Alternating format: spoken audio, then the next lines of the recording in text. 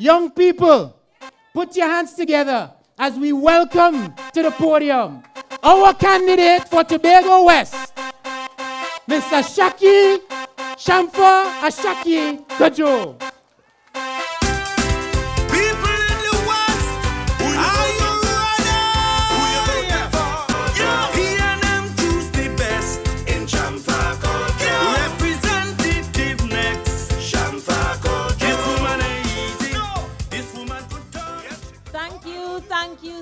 Cudjoe. Thank you, Mr. Chairman. Brothers and sisters of Golden Lane, a pleasant good evening to you. Allow me to recognize in our presence the Honorable Orville Delano London, political leader of Tobago Affairs, the People's National Movement, and Chief Secretary of the Tobago House of Assembly. Brothers and sisters, allow me to recognize in our presence also Dr. Denise Tsoiafatt Angus, Secretary of Community Development and Culture. I want to recognize Mr. Godwin Adams, your area representative. Mr. Dion Isaac, Secretary for Housing and Settlements and Labor. Mr. Joel Jack, Secretary of Finance. All other members of the Assembly in our presence, members of the party's executive, members of the media, all of you who came out this evening to make this evening possible, and last not, not, but not least, the young people, all you, my brothers and sisters of this great people's national movement, a hearty good evening to you. It is indeed a privilege and a pleasure to stand before you this evening as your daughter your candidate, your voice, seeking representation for the people of Tobago West.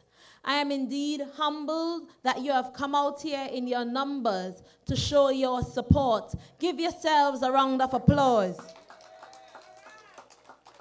Brothers and sisters, we have waited. We have waited for this time. We prayed. We prayed for elections 2015. We sat in our corners, in our homes over the years, witnessing all the wickedness and all the atrocities of this callous UNC government. We even had to bear witness to our Tobagonian brothers and sisters joining in, joining in arms with them, helping them to carry out their dirty works against the people of Tobago. But, brothers and sisters, we stood firm, strong, and resilient as the people of Tobago we are. And we stand here once again five years later, or should I say three and a half more weeks to go, where are we're going to show up and we're going to show out and we're going to show the people of Tobago and Trinidad just what we are made of. We have had enough. And it is about time for us to change things in Trinidad and Tobago and return this country to the loving, caring hands of the people's national movement. Now, brothers and sisters, over the past couple weeks, I've seen candidates and opponents jump out of the woodwork coming forward to challenge the people's national movement. So far, you have heard no song plan, no song policy, just pure hate for the people's national movement. And if you could cast your mind, your eyes back to 2010, when the People's Partnership was formed, they came together not because they had unity of purpose or they had a shared plan, but they came together only because of hate for the people's national movement. And they worked together hand in hand to drive this country down a downward spiral. But we are here once again in 2010 to bring back this country to the loving hands of the people's national movement. Now, brothers and sisters, I've been listening to the radio stations and everything that they have been saying. And I went to my mother's house this morning after exercising, and she greeted me as, Good morning, PNM little girl. Good morning, PNM school girl. And I said, Where'd she get this from? So I tuned into the radio station and I heard our dear friend, Watson Duke, referring to us, Ayanna Webster Roy, my sister candidate, and myself as a PNM little school girls, that they're too young to go to Trinidad to, to speak in parliament. He called us PNM little school girls. And as I listened to the argument of, um, of Watson Duke as he masqueraded, because he's doing nothing else but masquerading, I, I listened to what he had to say. Not that I'm giving Watson Duke any forward, but brothers and sisters, that was, th- these things are being said by Watson Duke and by the TOP and by the movement forward or forward movement or whatever they call themselves. Some kind of forward, acting backwards. Um, that was said to try to emasculate Ayanna Webster Roy and myself, to try to make us ashamed and to try to make us feel like we're not ready. So they refer to us as little PNM schoolgirls. But as I thought about it, I say, you know what? You know Watson Duke is right. I'm a PNM schoolgirl, and I'll tell you why. When I got out of school in 1998, and I wanted to pursue studies, my tertiary level studies, there was no gate, there was no facility to send people to school to pursue their university degrees. It is based on the policies of the People's National Movement that people like myself and so many of you other young people could have gone on to UWI and gone on to different colleges and universities to pursue your tertiary education. I could remember before the People's National Movement came into power in Tobago, only certain people and certain families got to send their children out there to study. But today, everybody knows somebody's sister, somebody cousin, somebody girlfriend, somebody friend who is out there studying, furthering their education, and getting ready to come back here, or even back here already contributing to the development of Tobago and this entire nation that is based on the policy of the People's National Movement. So today, I stand as a proud PNM schoolgirl because if it wasn't for the PNM, many of us would have no tertiary education. So I stand here proud PNM schoolgirl. And my advice to Watson Duke is if you had spent some time being a PNM schoolboy, you would talk more sense and with more reasoning and with more intelligence when you get on the people radio station at the end of the day. So PNM schoolboys and PNM schoolgirls, stand proudly because all that we have today, most of what we have today, our intelligence, our education, some of us open up our own businesses, sending us people to school. Some of us could purchase lands, and we have a greater standard and higher standard of living here in Tobago because of people's national movement policy, because of great leadership based on the people's national movement and because we have invested our time in our people and in our young people as the people's national movement. So my story is an ideal socks to stocking story. My story is the ideal Bata sneakers to nine West high heel shoes story. My story is the ideal Jansport book bag to Michael Kors handbag story. My story is an ideal PNM schoolgirl story. So I stand here proud, just like all of you, as a PNM schoolgirl. And what they did not do, Ayanna Webster Roy and Shamfa Cudjoe, PNM schoolgirls would go to Trinidad and we would show them true representation. We would bring internal self government to Tobago along with our other friends in the People's National Movement. All that they didn't do, Ayanna Webster Roy and Shamfa Cudjoe, proud PNM schoolgirls would do, we are going to do. And all of you who stand on the sidelines, criticizing the PNM, it's not late for you to be a PNM schoolboy or girl too. Brothers and sisters, the People's National Movement is about opportunities to all. It's not just about gates. We could talk about CCC. We could talk about YTEPP. We could talk about YAPA. We could talk about MUST. We can talk about all these training opportunities for young people. And if you did not study or pursue some post secondary education, it is because you didn't want to.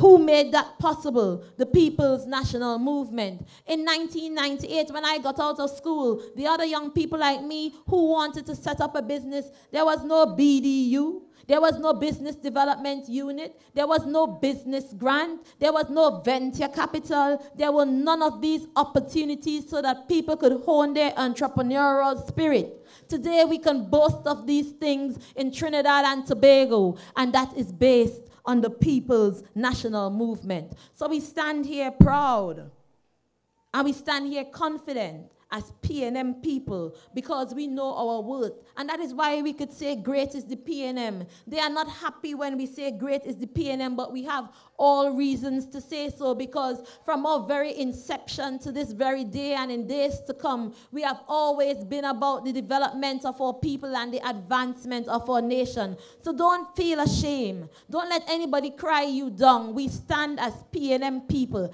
educated people of Tobago based on the policies of the People's National Movement. So, what they didn't do in Trinidad, all the five years that they spent there under Kamala's arm, close up up in Kamala's bosom, Shamfa Cudjoe and Ayanna Webster Roy would do. Brothers and sisters, and some of these issues include internal self government for the people of Tobago. This is official People's National Movement policy and it instructs all the administrations of the People's National Movement. So PNM today, PNM tomorrow has a duty, a responsibility to treat internal self-government for the people of Tobago as a matter of priority to be dealt with with urgency. Uh, brothers and sisters, this airport expansion situation that has been in the public domain for over the past five years, Ayanna Webster Roy and Shamfa would resolve this matter so that the Crown Point International Airport would be one that we can have upgraded facilities and we can have international flights coming in and out and you don't have to line up on the pavement and be dragging your bags through the road to get on your flights. Brothers and sisters, I'm talking to you about what Ayanna Webster Roy and Shamfa Cudjoe would do the sea bridge, management, proper management of the port authority, so that the boats wouldn't go on dry dock during Easter time, that the boats wouldn't be placed on dry dock during Great Fete weekend time. Brothers and sisters, I'm talking to you about inter-island transportation. How many of you have sat on the airport down in Crown Point, and even in Trinidad, waiting hours upon hours hours for Caribbean Airlines to get itself together. And at sometimes you would pass a certain member of parliament getting on the airport with her little handbag and her little suitcase, using national security helicopter to go back and forth while we, the people of Tobago, wait. These are the matters that our representatives are supposed to treat with. But they had abdicated their responsibility, hugged up hand in hand, sleeping in bed with the UNC forgetting us, the people of Tobago, and you have the temerity to come back to ask me for another chance for five more years, you must think the people of Tobago are fools. Brothers and sisters, some of the issues we want to treat with are relating to housing. As we walk the communities, district after district, young people are complaining about access to housing. And one young woman said to me in Bethel last week, but Moonilal handing out houses, 100 houses per week. Why we can't do that in Tobago?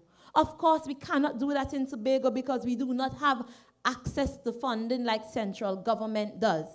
Whatever subvention is granted to the Tobago House of Assembly for housing, and I think last year it was only 28 million. How many houses could you really build with 28 million? While Trinidad benefits from hundreds of millions of government subvention, grants from the IDB, and all kinds of different funds that they do not share with Tobago. And when the Tobago House of Assembly asks for the ability to use public-private partnership, they're quick to take us to court and to say no. How could we give out 100 houses per week just like Moonilal? And might, might you remember that Moonilal never built one of those houses. These houses came because of people's national movement policy. But Ayanna Webster Roy and Shamfa Cudjoe would work hand in hand with Dr. Keith Christopher Rowley, the next Prime Minister of Trinidad and Tobago, and all cabinet colleagues to ensure that Tobago is granted the necessary funding and the necessary funding opportunities to give housing, proper housing to the people of Tobago, to build our housing stock, and also to provide more work for people of our construction industry. Such is the policy of the People's National Movement. Ladies and gentlemen, let me talk to you about border protection because our fishermen are crying out. They feel unsafe. The People's National Movement government comes September 2015. We are going to work together to ensure that there is proper border protection so that the fishermen could feel safe and the people of Tobago could feel safe.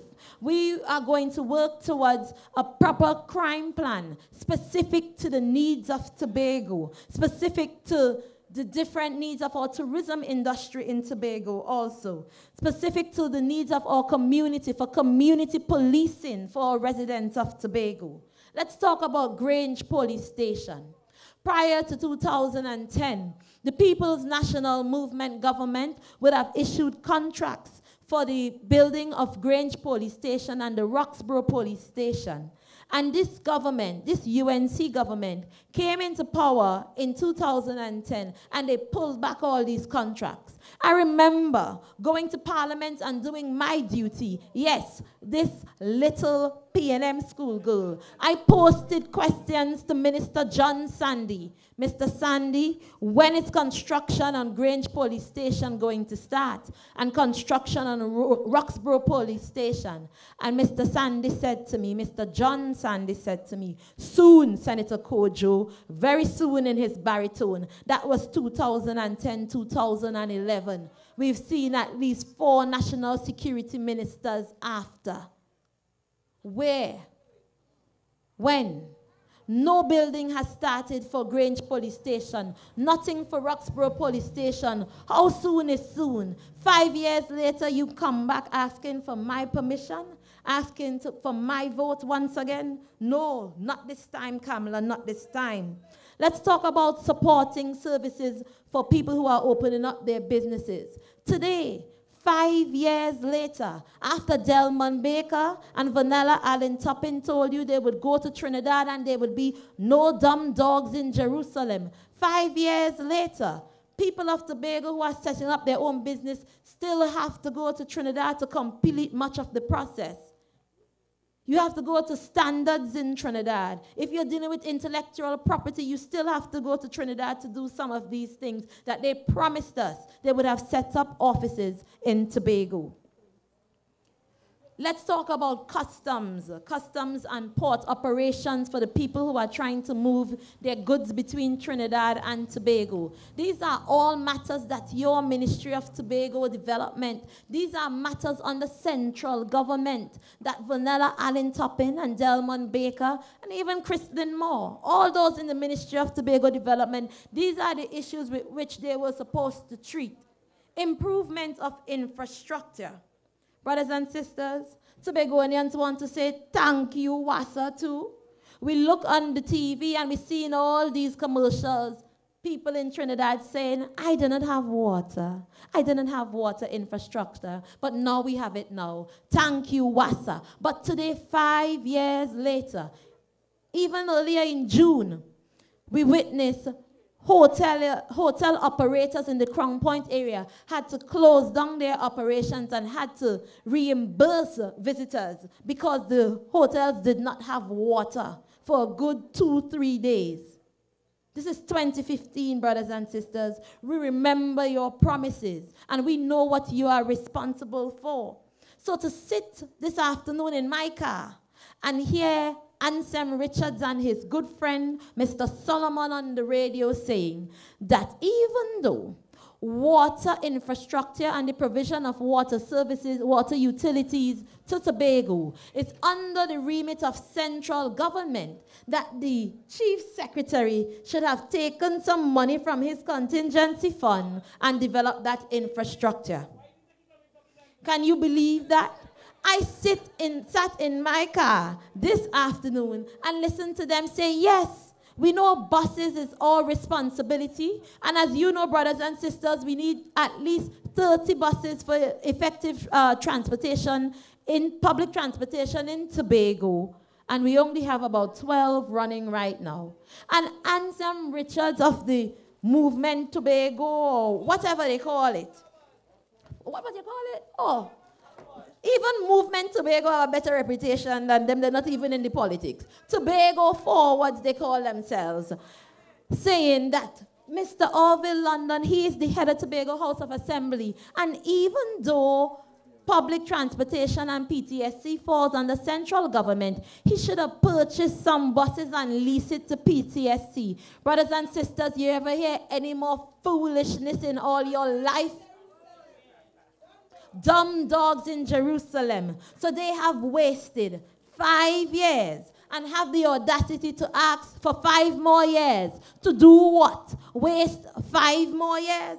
Brothers and sisters of Golden Lane, can you believe this? They are coming to you and say, We have not done our jobs. We have abdicated our responsibility and have the nerve to ask you for five more years. Five more years to not mind Tobago people's business. Five more years to stand up in the parliament telling lies about Tobago people and embarrassing us. Brothers and sisters, they have spent five years, if you could remember, encroaching on the, the Tobago House of Assembly's territory. They didn't do their own jobs. They didn't mind their own business. They duplicated the Tobago House of Assembly, setting up units to compete with the Tobago House of Assembly. So you did not take care of your household, did not take care of your responsibility, and coming to me to compete with me? And you want five more years? No, no way. No, Kamala. Brothers and sisters, what they did not do in their five years, Ayanna Webster Roy and Shamfa Cudjoe would do. When the assembly was underfunded, why didn't they take it to their radio station and say something? Not a word from Vernella, not a word from Delmon, not a word from Anselm Richards, not a word from Christlyn Moore, and Mr. Solomon himself was a dumb dog in Jerusalem also. Five years later, could you remember the chief secretary writing over and over, trying to get the ears of the prime minister? I remember them laughing and calling the chief secretary a crybaby. Five years later, and you want another chance from the people of Tobago? We remember you. We remember your atrocities and your misdeeds. We have not forgotten, and we will not forgive you. So you have treated us with neglect and you want five more years. And in usual Kamala style, we are not surprised. In usual UNC style, at the very late end, they now take it to the radio killing us with PR.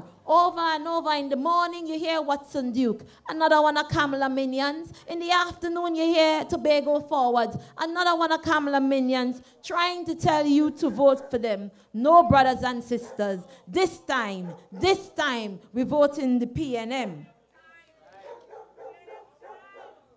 By now, we know by now, you try to tell us that we misunderstood and you misspoke. But we know by now that we have made a mistake because you mistreated us, you misled us, you mishandled us. We misvoted, but not again, brothers and sisters. This time, we're going with the PNM. And what all of them didn't do, from Delmon Baker in the lower house, Vernella Alleyne Toppin in the lower house. And let's look at the upper house because they came in the upper house one after the other 10 on, 10 off, 5 on, 5 off. At first, you had Embau Moheni, Tobago member of the UNC. Then you had Christlyn Moore, Tobago member of the UNC. Then you had Terence Baines, Tobago member of the UNC. Even Shelly Ann Rollocks Hackett came in to get a little piece of the action. So you trying to tell me after five years, five different representatives going down there claiming to fight on behalf of Tobago and absolutely nothing to show for it? They fed at the UNC trough for their political expediency and their personal gain. And five years later, they're trying to convince us to vote for them again. No way, not again, because we are smarter than that. We have seen all your tricks. We have watched for five years as you divided our people. We have witnessed for five years as you raped the treasury. We watched for five years as you neglected Tobago. And we watched for five years as you were yes men and yes women for Kamala and the UNC. So you could change your name, you could change your color, you could play independent. We all know who is your leader. And again and again, Tobago would continue to say, No way to Kamla. No way to Kamla. Because at the end of the day, we know it's only two parties. Only two parties in the competition, and that is the UNC and the People's National Movement. So when the blue come to you, ask them, who sent you? Who you supporting for prime minister? When the TOP come knocking at you, do ask them, you still with the UNC? Who you supporting for prime minister? Who sent you? That's the question we need to ask them. You see, brothers and sisters, they vex with us when we say great is the PNM, but we have all reasons to call ourselves great. Because here we stand, 59 years later, same party, same color, same logo. 59 years later, we present to you candidates of integrity like we have done time and time again, and a visionary leader that is the legacy of the people's national movement. We stand strong, we stand resilient, we stand consistent, we make the hard decision, and we are all about the development of our people and the advancement of this nation. Brothers and sisters, if this country, Trinidad and Tobago, ever needed a people's national movement, that time is now. If this country ever needed people of integrity to lead us, that time is now. If your country ever needed your participation, your support, your vote, that time is now. Brothers and sisters, a great country deserves a great party. Again, I say a great country deserves a great party. Brothers and sisters, right thinking people deserve decent leadership.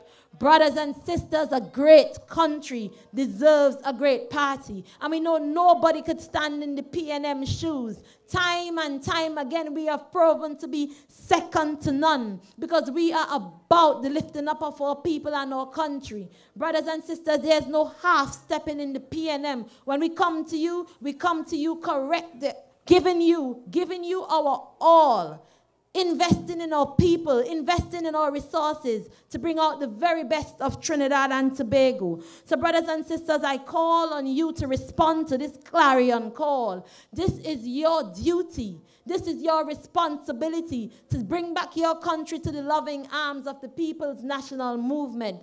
You are not, we are not being asked to take a chance because you are sure about the PNM who we are, what we stand for, and how we deliver. Brothers and sisters, on September 7th, I call on you to come out in your numbers.